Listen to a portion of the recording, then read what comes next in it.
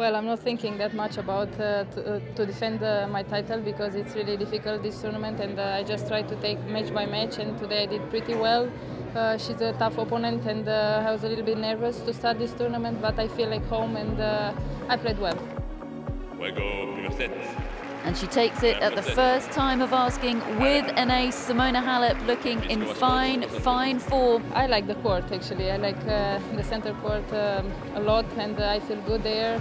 I feel the game, I feel uh, the movement. So uh, yeah, I'm feeling great and I think it's one of my uh, favorite courts in the world.